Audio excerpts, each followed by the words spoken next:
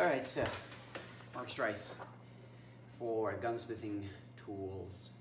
And uh, this is my reflection on taking apart that CZ75 BD. Uh, I did not pick an easy gun, and I did that deliberately. Uh, you know, I could have chosen an AR-15 that, you know, I've built many of them, and um, to probably take them apart with my eyes closed. uh, or, you know, some of the other, uh, you know, like a Glock or something. Um, I chose the CZ because this is that, that was a, uh, a gun that I wanted to um, refinish. And so with that in mind, I thought, well, hey, this is a perfect um, matching of class content and something that I want to do. Uh, an awful lot. I'm gonna say blood, sweat, and a couple of tears. That thing uh, fought me. Uh, as you can see, some things were broken on it. It's uh, an old, probably military or police trade-in from overseas, and then I purchased it uh, with the intention of doing exactly what I did. Take it apart, take a look at it, see if anything needs to be fixed. I've actually fired it, and um, fingers crossed, I mean, I didn't have any problems with it, but uh, I will have to order some parts and uh, replace them. So, reflections.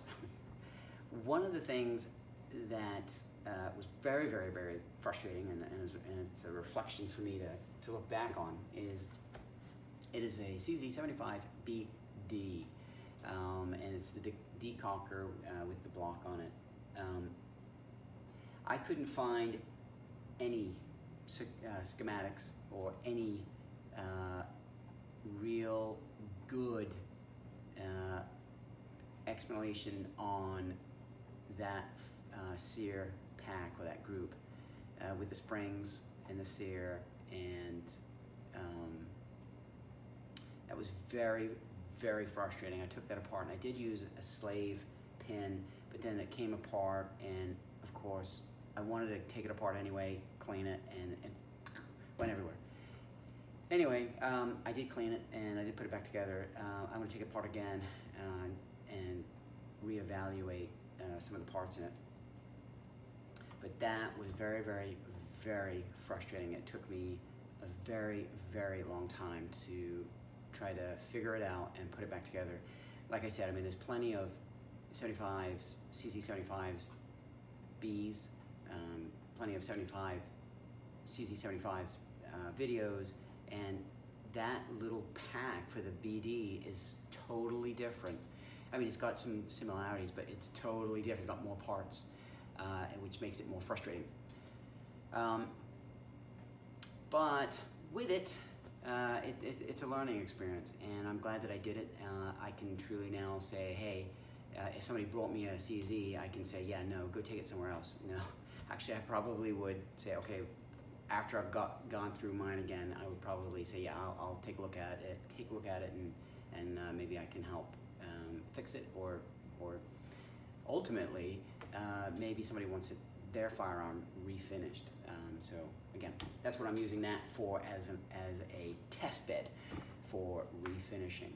Uh, I'm glad I had an opportunity to take it apart. I'm glad I had an opportunity to videotape it, and uh, and hopefully uh, this is going to be uploaded to YouTube uh, the other two uh, videos and maybe somebody else can learn from what I uh, have done maybe another SDI student or um, somebody else that wants to take apart a CZ75BD and they, and like me, couldn't find anything.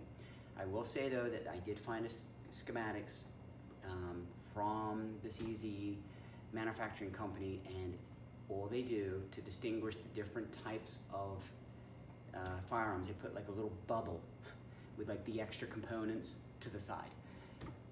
It doesn't tell you how to put it together, it doesn't tell you how to take it apart, a bubble with little, little itty bitty pictures of it. So that was very, very uh, uh, frustrating. But anyway, I really have enjoyed the, uh, the class and I've really enjoyed um, receiving tools. Uh, I, that was something I did not expect um, and I don't know, I maybe I should have read a little bit more about the tools, but, um, but anyway. It's always nice to have new tools, uh, especially gunsmithing tools, because they are um, special, specialized tools. you know, just I've got oth- lots of other tools in here, but these are, uh, you know, very specialized tools. But anyway, I enjoyed the class. Thank you very much.